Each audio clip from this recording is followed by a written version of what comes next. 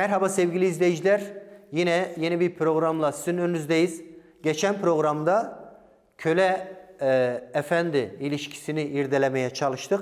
Ama zaman dardı. Yarım saatlik bir zaman içerisinde bunu tam olarak e, gerçekten anlatamadık. E, ayetlerin üzerinde durmaya çalıştık. E, kutsal kitapta yine özetleyeyim. Köleliği reddeder. Yani asla köle efendi ilişkisi diye bir şey yok. Ama e, köle efendi ilişkisinden bahseder. Niye? Çünkü müjde yani İsa Mesih'in yapmış olduğu bu kurtuluş bütün insanlar içindir. Yani dünyanın her tarafındaki insanlara duyuruldu ve Paulus kölelik altı, altında e, insanlara da bu müjdeyi iletti. Petrus olsun, Thomas olsun bir sürü elçiler köle olarak yaşayan insanlara da bu müjdeyi çünkü hiç ayrım yapmadılar. Önce Yahudilere müjdelendi, sonra Yahudi olmayanlara, sonra özgürlere, sonra kölelere. Yani herkese bu müjde ulaştı. E o zaman kölelerin nasıl davranmaları gerek, gerektiğini bilmeleri lazım. Köle bir insana İncil'in hiçbir yerinden e, işte sen İsa Mesih'e iman ettiğinde e, ortalığı gereceksin, e, ondan sonra organizasyon yapacaksın, e, taraftar kazanacaksın, ondan sonra harika bir şekilde oluşum yapacaksın, ondan sonra sen patronunu öldüreceksin, özgür olacaksın diye öğretmez. Hayır, tam tersine ahlakınla, onurlu yaşamınla, alçak gönlülüğünle, halim ruhluğunla, çalışkanlığınla patronu gerçekten hoşnut etmeye çalışacaksın. Hatta patron olarak değil, Allah'a hoşnut eder gibi çalışacaksın der. Yani geçen programda da söyledim. Bu peki acizlik değil midir diye söyleyebilirsiniz. Özgürlük neden istenmesin? Özgürlük istenir. Paulus der ki özgür olma fırsatın var mı? Özgür ol diyor. Ama eğer köleysen kesinlikle korkma. Çünkü Allah'ın egemenliği zaten bu dünyada değil. O yönden bunu söylüyor. Yani Roma'nı Roma'yı örnek gösterdim. Roma tamamen insanları köleleştiren, Roma vatandaşıysa yargı vardır. Roma vatandaşı değilsen sana seni bir Romalı öldürse bile kesinlikle bir e, adil adil yargı yok.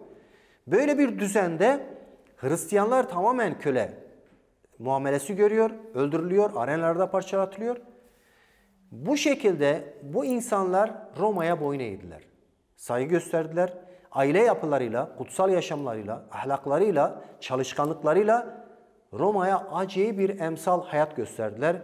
Ve Roma bunu gören Roma İmparatorluğu tamamen gerçekten değişti ve resmi dinini Hristiyanlık olarak ilan etti. Yani düşünün siz savaşta iktidarları yere getiremezsiniz. Ama ahlakınızla, onurlu yaşamınızla siz bir mesaj veriyorsunuz. Allah'ım sen bana bunu söylediğin için ben yapıyorum. Bu benim bedenime de terstir, düşünceme de terstir. Ben nasıl bana zulmeden insanlara boyun eğeyim?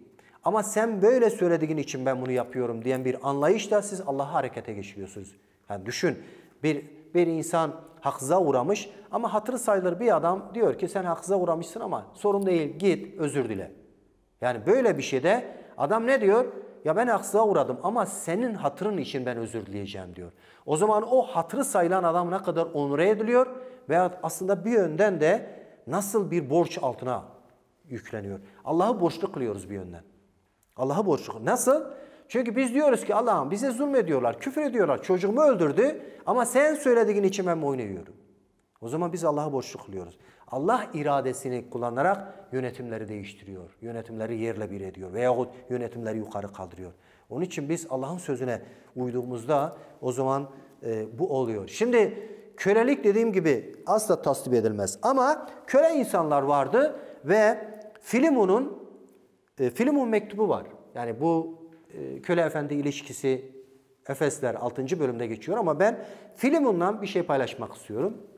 Şimdi Filimon'un bir kölesi var ve bu adam e, Filimon'un parasını çalıyor çünkü metinde gözüküyor zaten bu. Para olabilir, bir mal olabilir, bir değerli bir hazine olabilir. Çalıp kaçıyor. Ve sonra nasıl oluyorsa Paulus'la tanışıyor bu adam. Paulus'la zindanda tanışıyor ve bu adam iman ediyor. Yani bu köle iman ediyor öyle bir ahlakı değişiyor ki, o kadar onurlu bir şekilde yaşıyor ki Paulus bu adama diyor ki bak sen İsa Mesih'e iman ettin tamam. Ama sen Filemon'un yanından kaçtın. Ondan bir şey de çaldın. Şimdi sen gerçekten İsa Mesih'te yeni doğuşu aldınsa senin bunları telafi etmen lazım. Nasıl? Sen gideceksin efendinden özür dileyeceksin ve sen ona boyun eğeceksin. Yani işte gerçek kölelik budur. Ben Filemon'dan biraz okumak istiyorum. Diyor ki yani Paulus Filemon'a e, yani Paulus aslında ben bu biraz anlatayım. E, müjdeyi Filemon'a veriyor. Bunda zaten bunu anlıyoruz. Yani onun canını Mesih'e bağlıyor. Yani Mesih'in kanı aracılığıyla e, Filemon özgür olmuştur. Ve onun için Paulus'a kendini borçlu hissediyor. Zaten Paulus da hiçbir zaman bunu hiçbir insana yansıtmaz. Ama bir can istiyor ondan. Yani Onesimus bir köledir. Onun için bu canı istemek için buna o sözü hatırlatıyor. Diyor ki sen aslında canı bana borçlusun. Niye bunu söylüyor? Onesimus'a bu şekilde bakman lazım. Yani o sana canlı borçlu olabilir ama sen de bana borçlusun. O zaman bu şekilde bakıp onu özgür kılmalısın diye söylüyor. Yani köleliği, köleliği nasıl özgür ettiğini biz e, burada görüyoruz.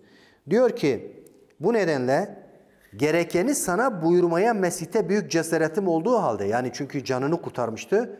Şimdi Mesih İsa uğruna tutuklu bulunan ben yaşlı Pavlus sana sevgiyle rica etmeyi yeğliyorum. Tutukluğum sırasında kendisine ruhsal baba olduğum oğlum Onesimus'la ilgili bir ricam var.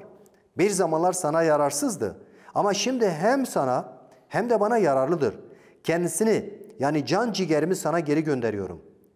Müjdenin uğruna tutuklu kaldığım süre, sürece senin yerine bana hizmet etmesi için onu yanımda alıkoymak isterdim. Ama senin onayın olmadan bir şey yapmak istemedim. Öyle ki yapacağın yapacağın iyilik zorunluluktanmış gibi görünmesin, gönülden olsun. Onisimus'un bir süre senden ayrılması belki de onu temelli geri alman içindir. Onu artık bir köle değil, köleden üstün sevgili bir kardeş olarak geri al. O özellikle benim için çok değerlidir. Ama hem bir insan hem de Rabbe ait biri olarak senin için daha çok sevilecek bir kardeştir. Yani e, Allah'ın gözündeki kölelik budur. Yani o kadar muazzam bir şey ile karşılaşıyor e, bu adam. Hayatını tamamen muazzam olan nedir? Mesih'in lütfu. Mesih'in lütfunun altında eriyor adam. O hırsızlık yapan ve isyan eden köleleri belki organize etmiştir. Onların da kaçmasını sağlamıştır belli olmaz. Orada yazıyor zaten diyor ya haksızlık etmişse bir borcu varsa sonraki ayetlerde. Ama öyle bir değişmiş ki adam gerçekten Paulus diyor can ciğerim. Yani bu önemlidir. Yani ben Hristiyanım diyebilirsiniz. Ben insanım diyebilirsiniz. Ben harika bir insanım diyebilirsiniz. Ama gerçekten insanlar sizden korkuyorsa, sizden gerçekten şüpheleniyorsa o zaman burada bir can ciğerlik yoktur. Paulus'u öyle etkiledi ki Onesimus bir mektupla onu Filumun'a gönderiyor ve diyor ki o artık bir köle değil. O senin için ve benim için çok yararlı ve senin için sevilecek bir kardeştir diyor. Böyle bir, bir şekilde sesleniyor. Yani o yönden kölelik dediğim gibi kutsal kitapta hiçbir zaman tasvip edilmez. Ama kölelik, e, kölelerin de nasıl yaşaması gerektiğini söylüyor. Evet, e, kimde kalmıştık Ender kardeşim? Evet. E, Anlatabilirim. Evet, tamam. Evet. Onesimus e, orada küçük bir göndermede de bulunuyor. Onesimus demek yararlı demek. Evet. Orada bir kelime oyunu da oynuyor. Diyor önceden diyor sana yararsızdı ama Onesimus'un kelime manası yararlı demek. Ama diyor şimdi hem sana hem de bana diyor yararlıdır diyor. Yararlı hale geldi evet. iman ettikten sonra. Ee, tabii köleden çok bahsettik. Efendiden de bahsetmek lazım. Evet. Ee, ve 9. ayette diyor ki ey efendiler siz de kölelerinize aynı biçimde davranın. Artık ne biçimde? Rab için yapar gibi ona yap diyor. Evet. Burada köle için diyor ya diyor efendilerinize hizmet eder gibi değil. Rab için hizmet eder gibi e, e, efendilerinize hizmet edin diyor. E, o zaman Rab diyor sizi ödüllendirir. Ve efendiye de diyor efendiler siz de kölelerinize aynı biçimde yani orada köle için söylediği şeyi onun için de söylüyor. Davranın. Artık onları tehdit etmeyin. Ee, onların da sizin de Efendinizin göklerde olduğunu ve insanlar arasında ayrım yapmadığını biliyorsunuz. Rab eşit davranır. İnsan arasında ayrım yapmaz. Bu köledir, bu efendidir diye ayrım yapmaz. Onun için diyor siz de aynı ahlak ile onlara öyle davranın. Ama e, maalesef zaman içerisinde e, bazı kimseler çıktı Hristiyanlık adı altında bu pasajları okuyarak e, köleleri acayip e, baskı altına almaya başladılar, zulmetmeye başladılar. Onun filmlerini de çeviriyorlar şu an görüyoruz. Özellikle Amerika'daki kölelik e, daha ortadan kaldırılmadan önce e, yanlış değilsem bir ulusun doğuşu muydu filmin adı. O dönemi anlatıyor işte. 1700'leri, 1800'leri anlatıyor. E, o sahnede bir tane bu var. İzleyince böyle acayip içim acıdı. Açıyor. E, pazar günüdür. Pazar günü çalışmıyorlar. E, Hristiyan ya. Bunlar beyaz. Köleler de çalışmıyor dolayısıyla. Köleler de orada. Topluyor efendisi kölelerin hepsini. Siyah hepsi siyahi. Hiç hakları yok. Topluyor. Bu pasajları okuyor. Diyor ey köleler efendilerinize bağımlı olun. Rab için yapar gibi onlara hizmet edin. Bunu efendi köleye okuyor. Sen bana o şekilde diyor yap. Ama aşağıdakini okumuyor. E, köle, efendiler size kölelerinize öyle davranın diye okumuyor ama. Yani acayip sömürdüler. Putperest insanlar e, din adı altında bunu yaptılar. E, Rab bunu görüyor. Bu şekilde yapmamak lazım. Yani bir efendinin de e, ki şu an günümüzde patron e, diyoruz, bir iş sahibi diyoruz. Onun yanında çalıştığımız biri olabilir. E, onun da aynı biçimde davranması lazım. Gerçekten e, sevecenlikle, e, dürüst bir şekilde onu sömürerek değil, e, uygun ücretini vererek e, ona davranması lazım. Onun hakkını vermek lazım. Ve diyor efendiler siz de kölelerinize aynı biçimde davranın. Rab, Rabbin yukarıda olduğunu bilerek diyor onlara davran. Bak o senin kardeşindir, insandır. Rab yukarıdadır. Ona göre ona davran. Onun hakkını ver. E, hiç alma. E, ve bir e, kitap var. E, Sefiller diye. Dünya klasiği. Çok ilginç bir e, kitaptır. Çoğu izleyenlerin çoğu e, okumuştur o kitabı e, muhtemelen. Okumadıysa da okusun diye tavsiye ederim. Sefiller. Adam köledir. Yani köle derken ekmek çalmış. Açlıktan bir şey yok. Ekmek çalmış. Ekmek çaldı diye onu kürek mahkumu yaptılar. Oradayken bir zulme uğruyor. Birini dövüyor. Cezasını daha da artıyor. Başka biri yapıyor. Bir, bir adam öldürüyor. Ömür boyu kürek mahkumu oluyor. Sonra bir fırsatını buluyor. Kaçıyor. E, ve yine aç olmuş bir kasabada e, birinin evine gidiyor. Hırsızlık yapacak. Bir şeyler çalacak. Girdiği kişinin evi e, o kilisenin papazın evi. O kasabanın. Bir sürü gümüş mümüş alıyor. E, tabii adam onu davet ediyor diyor. Ne yapıyorsun diyor. Gel diyor. Yemek falan veriyor ona vesaire. iyi davranıyor ona. Bu da ihanet ediyor ona. E, kalkıyor sabah bütün gümüş mümüş takımlarını alıyor kaçıyor. Sonra polisler bunu yakalıyor. Böyle giyimli biri. Giyim, giyimi yok yani. Çalçur giymiş. Elinde bir sürü gümüş. Belli hırsız. Takip ediyorlar işte e, papazın evine götürüyorlar. Diyorlar e, efendim diyor bu e, sizden işte bunları çalmış diyor. Biz yakaladık hırsızı falan. Tabii o şikayetçi olmamış hani onlar yolda görüp de öyle getirmişler. Aa diyor diyor, diyor ben verdim diyor. Gel diyor bu diğer takımları da unutmuşsun diyor. Onları da ben sana verecektim. Sen onları da al. O öyle bir etkileniyor. Ya nasıl ya ben suç işledim. Suçlu biri. Herkes bana öyle davrandı. Ben de öyle yaptım gerçekten de. Ama bu bana iyi davrandı ya. Niye öyle yapıyor? Çünkü eğer e, davacı olursa kesinlikle o gidecek. E, belki öldürülecek. Zaten kürek mahkumu. Zaten her şey ortaya çıkacak. Diyor yo ben ona verdim. Bunu da unutmuş. O davranıştan dolayı etkileniyor ve tövbe ediyor orada. iman ediyor Mesih'e. Ondan sonra kimliği değişiyor. Başka bir kimlik adı altında çok dürüst bir hayat sürüyor. Belediye başkanı oluyor. Sonra da ortaya çıkıyor tabii. Ne olduğu. Ee, ondan sonra e, Rab ile kendi benliği arasına gidip geliyor. Mahkemeye gitsem mi? Kaçsam mı? Kaçabilir. Ama mahkemeye gitse kesin tutuklanacak. Kesin kim olduğu bilinecek ve açık söylemek söylemesi lazım. Evet ben o adamım işte o kaçan kürek mahkumuyum diye. Ve en sonunda gidiyor yani diyor Rabbi boyun eğiyor gidiyor. Diyor ben, ben evet ben oyum.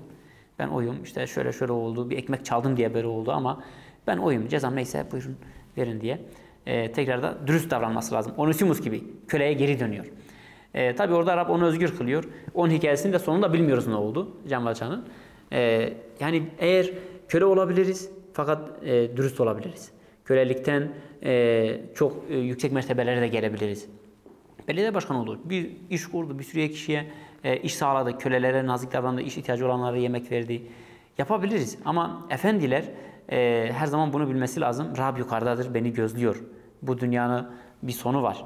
E, bazen toplumda söylüyoruz ya Süleyman peygamber de çok zengindi, çok parası vardı. İnsan ölüyor gidiyor, burada kalmıyor. Ama karşıdakine nazik davrandığımızda e, o benim kardeşimdir diye davrandığımızda, hakkını verdiğimizde Rab bizi ödüllendirir.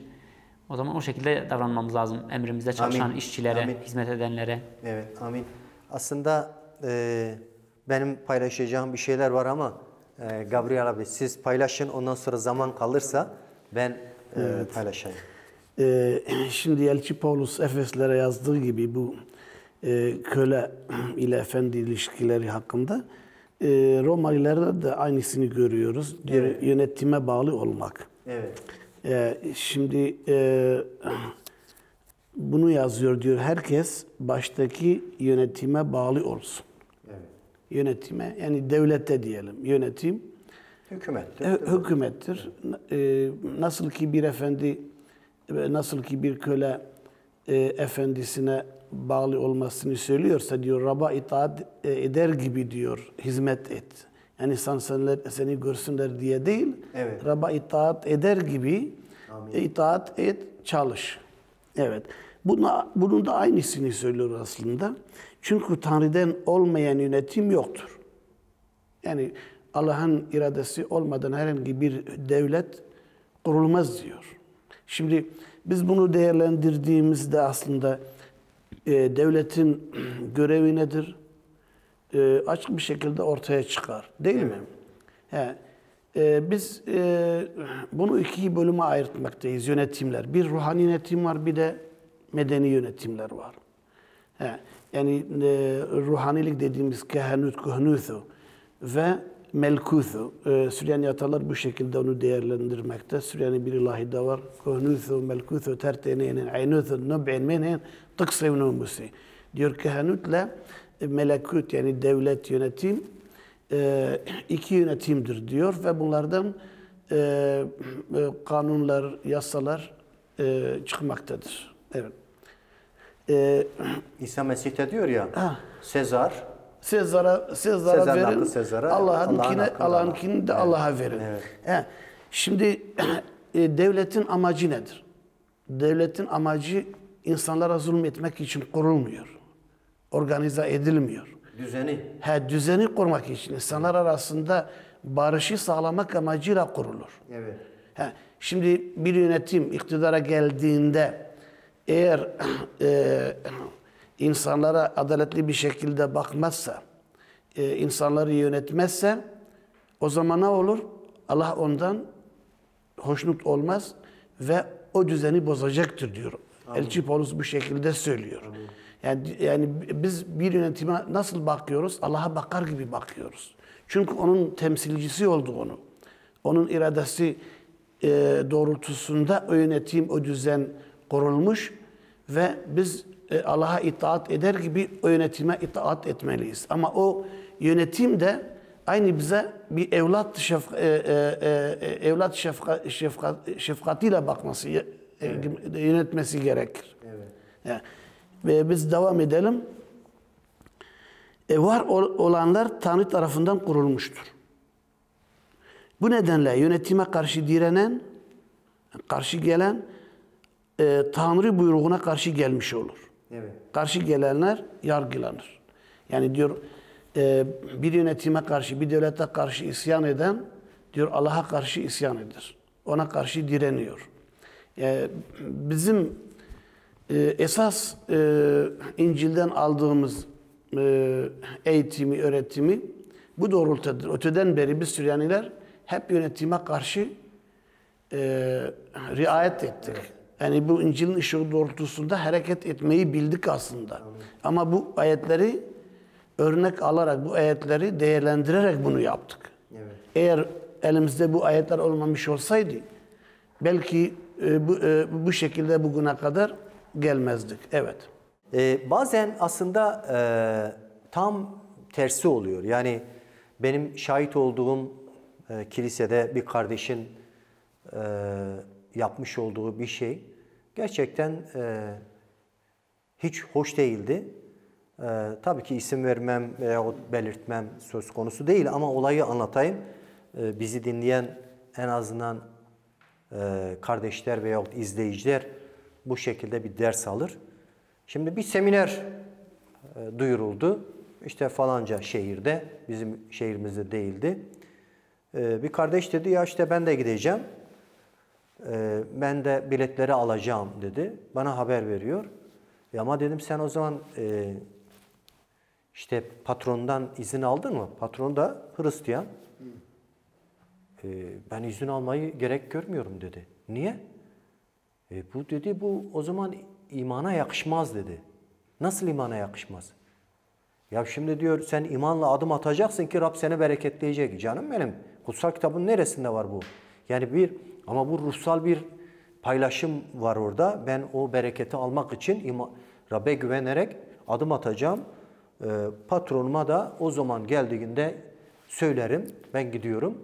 E adam izin vermezse, izin vermezse de ben imanla giderim. E bu nasıl kutsal kitabın e, ruhuna uyuyor? Yani böyle yani bazen e, imanlı olarak işte nasıl olsa patronum da Hristiyandır. E, ben geç de gidebilirim. Erken de çıkabilirim. E, işte arayı da çok, yemek arasını da çok kullanabilirim. E bu şimdi patron yumuşak huylu olabilir, açık gönlü olabilir. Sana tahammül edebilir. Ama bu bir günahtır. Patron e, sana bu şekilde davransa bile bu bir günahtır. Çünkü sen çalıyorsun. Yani e, o zaman bu ruhsal bir şeydir. İşte ben oraya gidip gıda alacağım, ruhsal olarak büyüyeceğim. Ben bunu adımla yani imanla adım atacağım diye böyle bir kendi kendimize fetva uyduramayız. Yani böyle bir şey yok. Yani biz patrondan gidiyoruz ya inan kardeşim e, Gabriel abi inan e, işte Mayıs'ın 15'inde e, bir seminer işte Antakya'da başlıyor. Üç gün sürecek. Siz bana izin verir misiniz? İşte burada 5-6 ay sonra olacak. E, ne dersiniz? Siz o zaman belki orada önemli bir işiniz vardır. Belki bir adam tedarik tedarik edersiniz. Ama ben sizi bir gün önceden bilgilendiriyorum. Önceden de bileti almışım.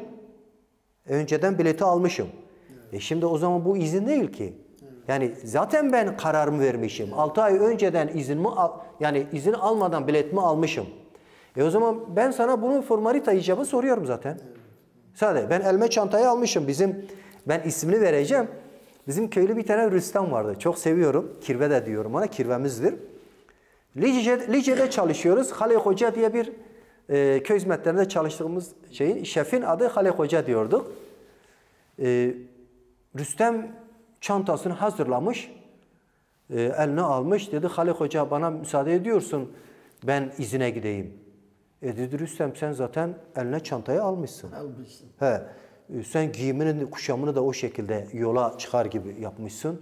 E sen zaten karar vermişsin. Ben sana ne diyeyim? Yol açık olsun. He. E şimdi bu izin isteme değil ha. Bu izin isteme değil. Yani böyle bir şey söz konusu değil. Onun için ne diyor? Ee, nasıl işçi ey köleler diyor. Nasıl olsa işte patronumuz, efendimiz Hristiyandır deyip de onu sömürmeyin diyor. Yani bu tam tersine diyor. Öyle bir çalışın ki, öyle bir alçak gönüllü, halim ruhlu bir şekilde davranın ki siz gerçekten öbür insanlara da örnek olansınız diyor. Yani bu doğrudur. Yani ille otoriter olacak, despot olacak, ondan sonra sen beni çalıştıracak, ondan sonra ben çalışacağım düşüncesi doğru bir düşünce değildir. Onun için boyun eğen bir adam Mesih'e boyun eğiyor. Yani patrona değil. Köy hizmetlerinde ben iman ettikten sonra e, patr- şeydi yani şantiye şefimiz yoktu. E, gidiyordu. Ondan sonra e, günde evleden önce biz 5 tane atabiliyoruz. 5 sefer atıyor. Radyolik diye bir yer vardı. 5 sefer atıyorduk. Evleden sonra da 3 ya da 4 sefer atıyorduk. 9 seferi atabiliyorduk. E şimdi ben atıyordum. Bana diyorlar ya sen de olmuşsun köle. Ya nasıl köle? Ya kardeşim biz, bu, bu dünyayı biz mi kurtaracağız? Ya bir dünyayı biz mi kurtaracağız değil. Ben atabiliyorum. Ya sen atabiliyorsun ne demek? Yani e, ya şimdi şantiye şefi olduğu zaman 9 sefer atıyorum. Siz de atıyorsunuz. E şantiye şefi bana güveniyor. Adam şehire gidiyor, işi var. Ben niye atmayayım o zaman? Bu bu nasıl olabilir? 200'lük olur. 200'lük olur. Görevi kötü yap. Geriye kötü, kötüye kullanmak olur. Yani onun için ben Hristiyan kardeşlerden rica ediyorum. Yani gerçekten biz Rabbe hizmet eder gibi ister Müslüman olsun patron, ister Hristiyan olsun, ister ateist olsun hiç fark etmiyor. Onun için biz Rabbe hizmet eder gibi hizmet etmeli ve gerçekten bu şekilde Rabbin adını yüceltmeliyiz. Bir ayet var burada. Bir ayet çünkü zamanımız bitti. Bak diyor ki Çünkü yöneticiler Tanrı'nın bu amaç içinde gayretle çalışan hizmetkarlarıdır. Amin. Yani yöneticiler bile özgür değil. Aynı öyledir. Ha, Allah'ın hizmetkarlarıdır. Aynı öyledir. De onları yöneten e, e, e, Allah vardır. Çünkü Amin. Bu, e, bu iş birbiriyle irtibatlıdır. Evet. Çok teşekkür ediyoruz. Bize ayrılan zamanın sonuna geldik. Sizleri saygı ve sevgiyle selamlıyoruz. Hoşça kalın.